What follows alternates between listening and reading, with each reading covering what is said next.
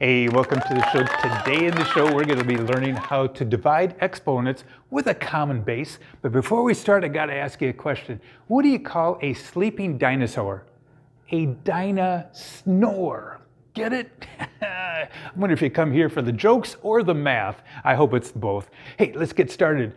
Okay, um, first of all, there is a rule when we divide exponents uh, either have to have a common base or the exponent has to be the same. So right away I'm taking a look at this problem and I notice that both of these bases are the same, so, but they have different exponents. So we have x to the power of 8 divided by x to the power of 3. I also have a secret formula that you can use and that goes over that if we have the common base right here, all we have to do is subtract the exponents. So let's dive right into it.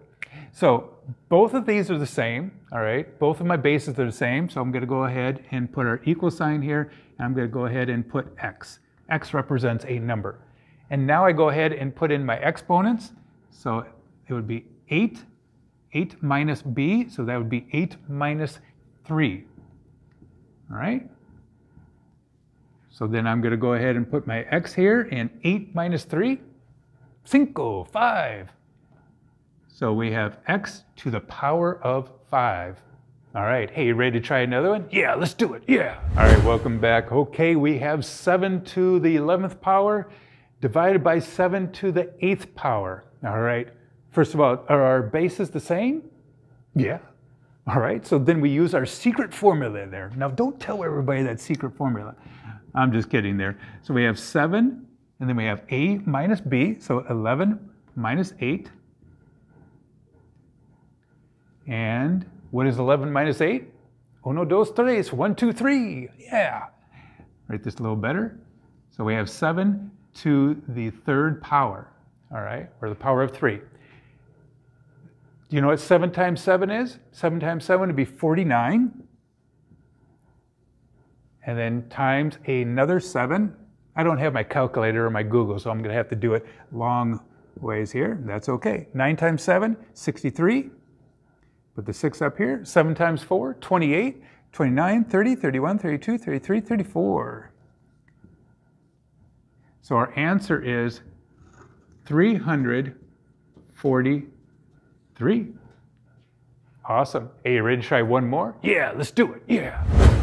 All right, welcome back. Hey, you gotta make math fun. All right, let's get started. Take a look. Are the bases the same?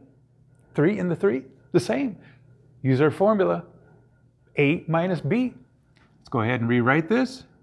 We have 3 to the power of 5 minus 2.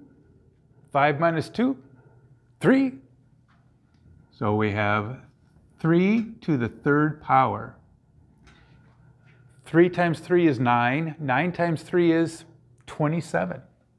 All right. Yeah, I just kind of want to show you a real quick way to take a look at this. Um, I could write three five times right here. So this would be one, two, three, four, five. And then I would take these threes and I would write that two times, three and another three, all right? So I could go ahead and cross out the threes that are the same here. I got three here and a three down here, three here, three down there. So then I have, I'll put little multiplication symbols in there. So then this would be three threes, which would look like this, 3 to the third power, which would equal 27. So both of these answers are the same. Hey, thanks a lot for watching the show today. I'd sure appreciate if you check out my other videos on here and hit that subscribe button. And like always, have a beautiful, fun day. Adios.